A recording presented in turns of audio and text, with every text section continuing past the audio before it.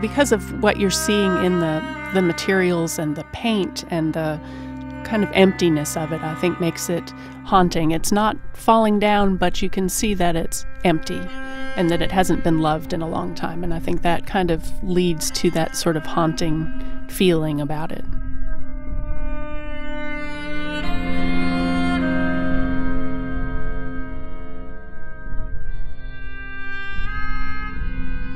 Pocahontas was built around the Pocahontas Coal Company, and it's very isolated. It's even difficult to get up there today.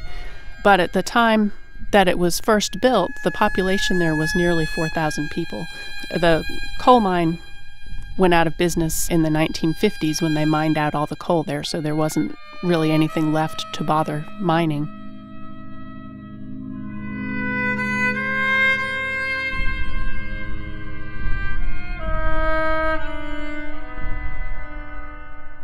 Many of the people moved out because there was no longer a business there, uh, no longer industry, and there's nothing really nearby to commute to.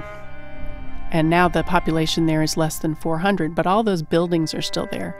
And many of them are Victorian. There's some cast iron storefronts and things there that are just beautiful, amazing buildings. But if you look at them a little bit more closely, they've collapsed behind the facades.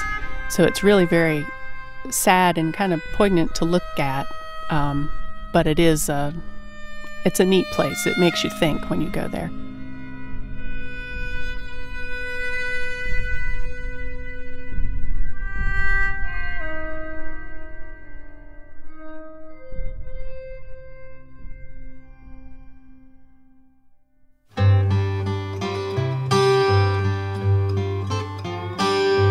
all of these communities had something that was important to them at one time, and that's why they were formed.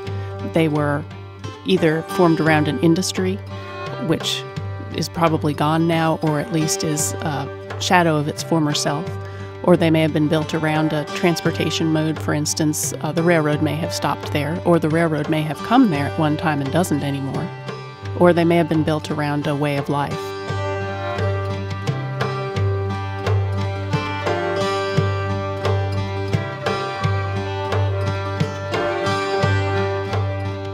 I think that the older builders really did have more pride in what they were doing because a lot of times you'll find old photographs where you'll see a new building that was built in the late 1800s or early 1900s, and all of the builders will be standing around that building just posing for that photograph to show that, yes, we just built this nice new store building.